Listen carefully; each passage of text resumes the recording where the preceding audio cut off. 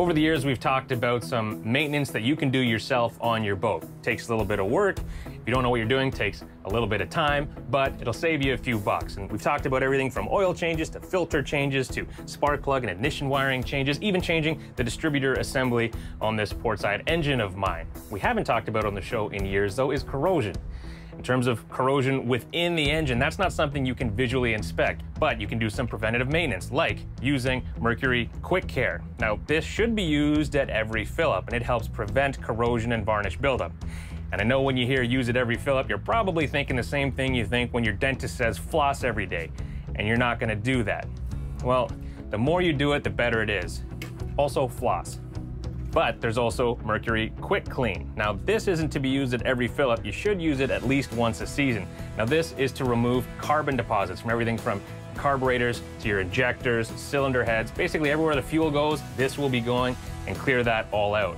And in terms of what you can visually inspect, exhaust is a pretty obvious one. So that's what we're gonna do this week. We're gonna show you what you can look for, and if you need to replace something, what to replace. Because, spoiler alert, one of my exhaust elbows is pretty nasty. So start by loosening the hose clamps. In theory, you could just take this one section of hose off, but from my experience, that is frustrating. So instead of removing these clamps here, I'm gonna move all the way down, and then we're gonna remove these two right here that connect into the muffler, but then take this L-shaped section off. You can see this is like badly corroded. Let me get a piece off this even. That shouldn't be possible. In fact, there was a couple pieces that fell off as we took the hose off.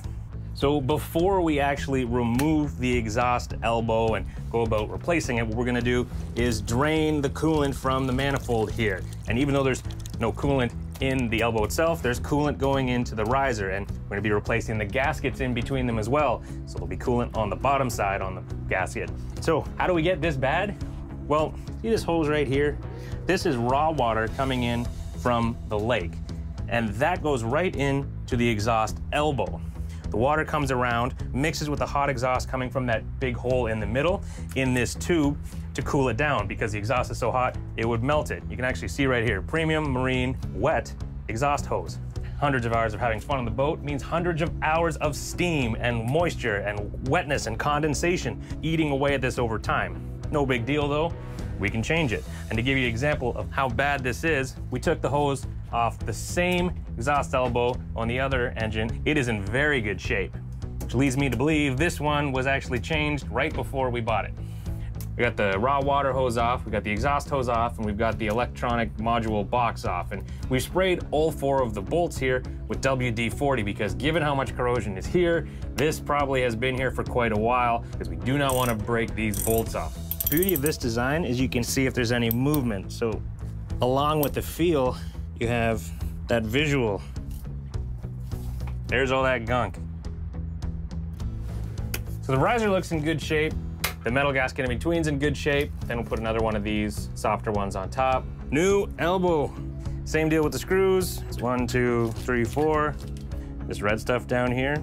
That acts as a, a way to sort of lock the bolt in place, but also keeps it from seizing when you have to remove it.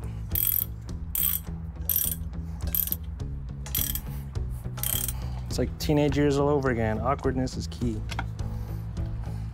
Teflon tape on there to make sure the seal's hunky-dory. Now we'll put this back on.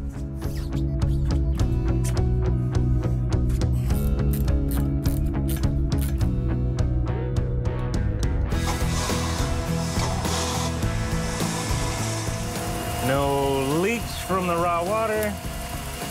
Nice and cool on top, meaning we're getting the water through.